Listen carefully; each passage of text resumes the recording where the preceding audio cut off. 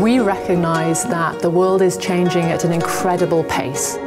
What the World Economic Forum does is bring together leaders from all different backgrounds, from all different walks of life.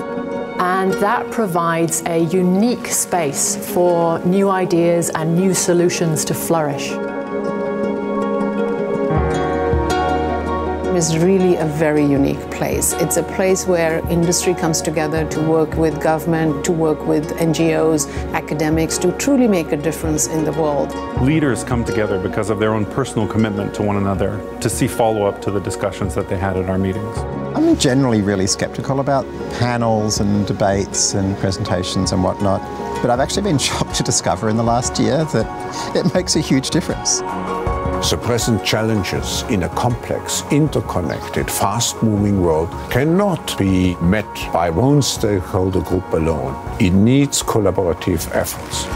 Magic moments happen all the time at the World Economic Forum, where the right kind of constituent unexpectedly will come together with somebody else who's looking for exactly that expertise. Not only do the multi-stakeholder groups that we bring together talk, they also make changes.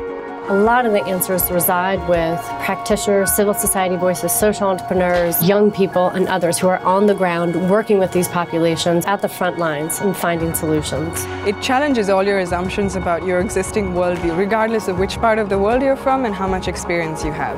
Nowhere in the world is there another forum which brings together governments, NGOs, corporate leaders, activists, artists, musicians, to all come together and talk about the biggest issues facing the world.